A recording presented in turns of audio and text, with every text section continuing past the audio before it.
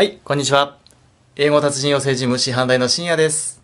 今日は意外に知られていないんじゃないかなと思われる単語の違いについてお伝えしていきます。それが bar と pub です。で僕は英会話を習い始めた時によく行っていた場所があります。それが外国人の人たちが集まるバーだったんですね。で、同じような場所を何箇所か見つけて行っていたんですが、その呼び方が違うことに気づいたんですね。あるところはバーと言ってて、あるところはパブっていう風に呼ばれていました。で、僕は最初、この違いがわかりませんでした。なんかお酒を飲むという場所では確かに一致してるかもしれないんですが、一体この違いって何、何なんだろうか。で、僕のそれまでのイメージ、日本語のカタカナでバーとかパブとかって書いてある店を見た時のイメージなんですけども、バーというのはなんとなくおしゃれな空間でムードミュージックみたいなのが流れてて、で、かっこいいイケメンのオールバックのバーテンダーの人がこうやってカチャカチャカチャカチャとかやって、で、若い女性にパッっていうね、なんかかっこよくカクテルを差し出すみたいな、そういうなんか典型的なイメージがありました。で、来るお客さんたちも割と一人で来る人たちが多くて、で、バリバリ働いてて、で、たまにちょっとふっとした息抜きで行く場所、みたいなそんなイメージがありました。で、パブの方は、もっとアットホームな雰囲気で、こうカラオケとかが置いてあって、で、お店にママがいて、熟年の話を聞くのが上手なママがいて、で、来るお客さんたちも、割と熟年の男の人たちがいて、で、そこでこう楽しく話をしながら、まあ、カラオケ歌うみたいな、なんかそんなイメージがね、まあ、少なくとも僕の周りにあった、家の周りにあったパブとかだと、そういう作りのお店が多いのかなっていうニュアンスがしていました。はい。ただ、実際これもともとね、海外から来た文化なので、その海外の人に聞くのが一番じゃないかと思って、聞いたんですね。そこに来ている外国人のお客さんの、と話しながらですね、この話になりました。で、そこで意外な違いが分かりましたんで、今回は動画の中でシェアしたいと思います。まずこのね、バーという言葉の由来なんですけども、これそのまま見れば、これ棒じゃないですか。こういう棒ですよね。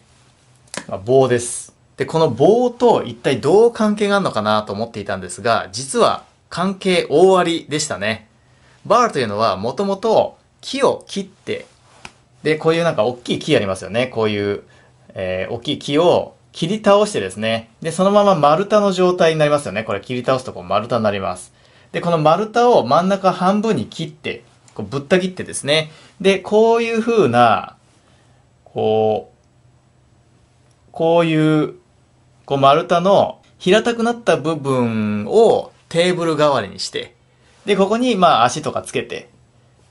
で、ここにお酒を置いて販売したっていうのが始まりだそうです。なので、このバーのバーというのはこのカウンターのことを言うらしいんですね。このバーカウンターとかって言いますけども、これが語源なんですね。もちろん今は全てがね、こうなってるわけじゃなくって、普通に、普通のテーブルを使ったりとかもすると思うんですが、とにかく長テーブルがあるっていうところがポイントだそうですね。長テーブル。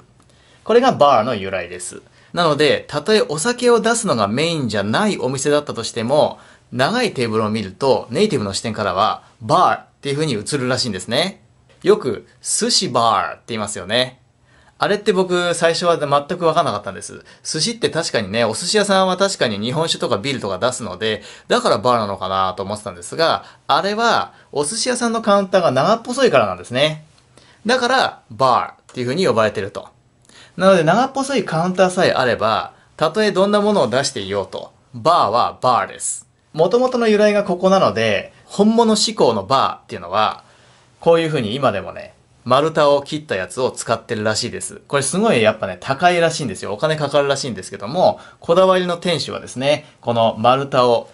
半分にぶった切ったやつを使ってカウンターにしてるそうですね。で、僕が行っていた、通っていた外国人の集まるそのバーも、やっぱりね、このパターンでした。こう本当に丸太を切って作ったやつでしたね。まあすごいこだわりがあるみたいでね、その店主の方がね、僕に熱っぽく語ってくれたんですけども、これは本物のバーなんだ、みたいな感じでね。はい。ということですね。なんで、バーというのはもともとこの素材、長テーブルから来ています。対して、パブというのは、これは、パブリックという言葉が語源って言われてます。パブリックですね。パブリックというのは、これ公共って意味ですよね。公共のっていう意味です。どういうことかというと、パブはもともといろんな世代の人たち、おじいちゃんおばあちゃんから孫世代の人たちまでが集まって話をする、交流する場として生まれたのがパブリック。で、ちなみにこのパブリックだけだと形容詞なので、パブリックハウスっていう言葉がね、語源らしいです。なので、パブリックハウスというのが、そのおじいちゃんおばあちゃんと孫と孫世代とか若者とか、いろんな世代の人たちが集まって交流する場がパブリックハウスだったんですね。で、これ短くパブというようになりました。なので、パブではお酒が振る舞われるのはまあもちろんなんですけども、別に子供も入れるという場所なんですね。で、僕がよく通っていたそのバーの方には確かに大人しか来ていませんでした。子供はね、見かけませんでした。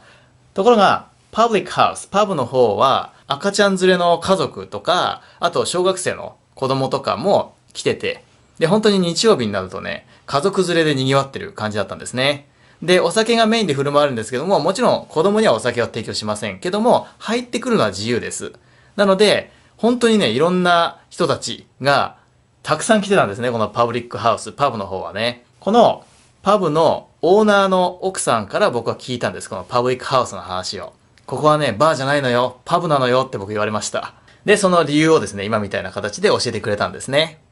なので、パブとバーというのは全くその役割も違いますし、語源も違いますよね。確かに今はお酒を提供する場所として同じように使われてはいるんですが、元の語源は違います。なのでやっぱり店の雰囲気とかお客さんの客層とかは海外では違うようなんですね。ということで今日はちょっとマニアックなトークになりましたが、バーとパブの違いをやりました。いかがだったでしょうか？はい。では今日は以上です。Thank you for watching. See you next time.